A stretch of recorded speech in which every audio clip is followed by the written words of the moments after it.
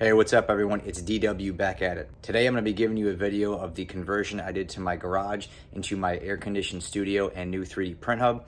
I'm also gonna give you a glimpse in some of the new printers I got and some of the updates I have from the lightning storm I had a couple weeks ago. It's in today's video, it's coming up next. All right, what's up everyone? Back at it again. It is DW Darkwing Dad. You can't tell, I have done some upgrades uh, to my garage. Today, I'm gonna be showing you how I did the conversion of my garage to my new studio. Initially, uh, I wanted to get a shed and convert that to a whole workshop studio. Just right now, uh, money's a little bit tight especially with the whole lightning storm situation that's going on. The insurance is really, uh, is really jerking us around here. Well, duh. So we did this conversion um, a little bit over two months ago. A little bit of a mess right now. Kind of wanted to show you guys my process. So without any further ado, let's get to ripping this thing apart and getting some AC in here. So let's go.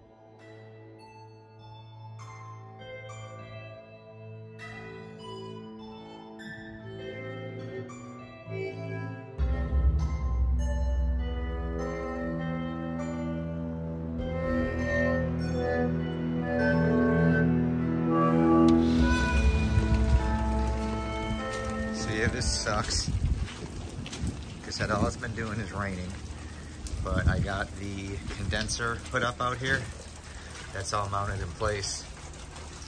But obviously I've got to run the lines from there and I am not dealing with electricity when it's wet. So until this rain passes, this is about all I got done so far.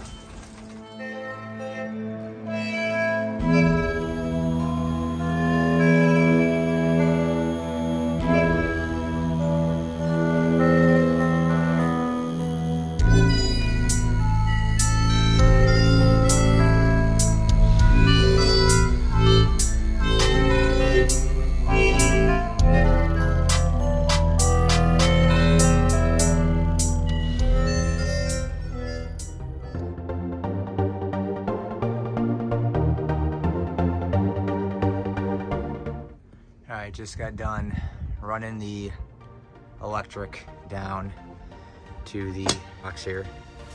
And then from there to here, you see me wire that up.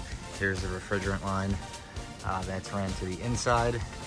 That will finally cool my garage. So now what we have to do is pull a vacuum on this to pull the Freon from the condenser into the unit. So I'm gonna grab all that and get that set up. I'm pulling the vacuum right now. What this is gonna do is make sure that there's no leaks. Uh, I'm gonna let this run for about 30 minutes. Uh, it's in the negatives, which is what we want. Pulling all the air out, and if it holds this negative reading here, it means we're good. It means we've got no leaking, everything's nice and sealed. After that, we'll be able to disperse the Freon and test this thing out.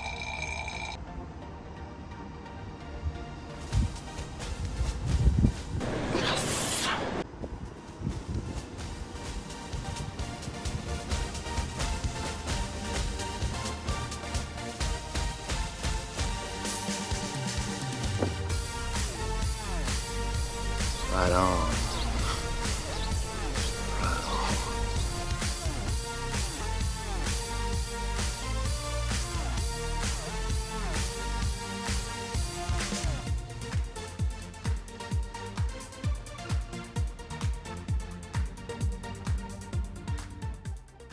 All right, so as you can see, this is the uh, the garage now. Uh, big difference from before and after. We did have it a lot cleaner. Um, however, you can see all of the broken things, minus the pretzels and the yoga ball, uh, the broken things that we've had to kind of keep aside uh, from the insurance company. This was just some of the stuff uh, that was damaged uh, in the storm. Obviously, my wife has taken over my table, which a printer will go there eventually, but she's putting her workout stuff there. Wolverine's chilling there. Uh, we'll have that video up probably in about a week or so. He's looking pretty awesome. Cool little setup here. This main area here is gonna be doing all the new demonstration. Originally, I wanted to have the work shed. Um, I don't think I'm gonna be able to get as big of a one as I wanted, so this kind of works out great. And obviously, a multitask. Uh, wife can come in here and work out, the kids can come in here and play Um, it stays nice and cool in here now. This garage, if you guys remember, when I was doing some of my, uh, I think it was the War Machine. Am I glossy?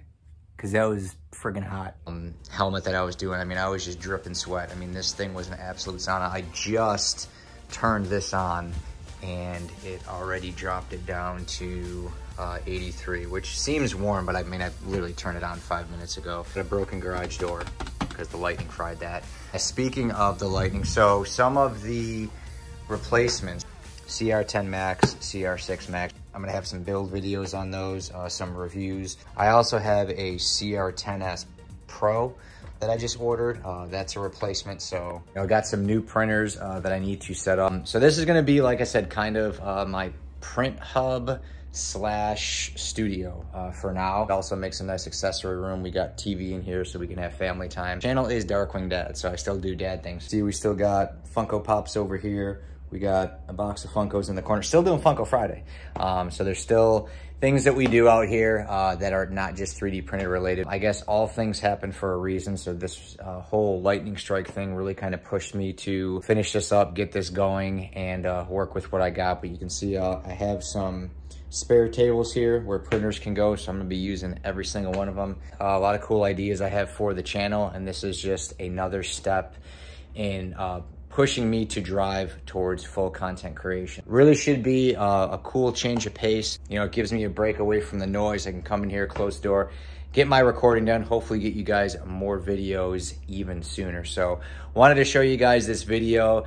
Uh, look forward to some new videos here with this new studio. A lot of cool videos for you. This will definitely help. If you like the video and you like the look of the new studio, go ahead and give me a thumbs up. Uh, go ahead and drop me a comment and let me know what you think. Um, if any of you are DIYers and you need help with installing a mini split, uh, go ahead and drop me a comment. Um, like I said, this was a install I did by myself. I did get one of the pre-charged units. Um, I'll leave the link in the description. That way, if any of you guys want to uh, do something like this, um, humidity can be a real mother and if you don't invest in those dry boxes or 3D print enclosures, it can definitely affect the filament. So doing something like this, uh, putting a mini split in here, it'll suck all that moisture out. Uh, it'll keep it nice and cool. Uh, adequate ambient temps uh, for printers to operate at, which is really my most important thing. Again, this is gonna be trial and error too. That way, if you guys um, ever want to do this conversion in your living space, you can always reach out to me and say, hey man, I know you put a mini split in, are your printers printing okay? And I'll make sure to give you guys updates as we go along. But wanted to show you this video, wanted to show you the conversion. Um, it's a little bit chaotic in here. Eventually this will come full circle. All this junk will be gone here. And obviously look for these future videos. I will be putting all these printers together probably in the next week or two. Uh, probably get the CR10S Pro put up first just because that's the smaller one. Um, these other uh, printers here I'm gonna mess with a little bit before we really get into reviews and doing all that and everything. So it's floating around behind me here. There he is, Wolverine. I'm doing the build video and then uh, my cool little music videos, I guess you call them. Uh, I just think it's cool to give you some different footage and display some of the songs that that I like in in these builds. Uh, it just gives a little bit of character to, to who I am. Anything better than like seeing a cool 3D print or really anything come together from beginning to end uh, with some awesome music in the background. So that's kind of why I put those videos together. So be on the lookout for that. Wolverine is coming soon. That's it for now, guys. I am going to get moving on to the next project. If you have any questions, comments, drop me a comment and give me a thumbs up if you like the video. And until next time, see the studio in full swing. For now, it's DW out. Later.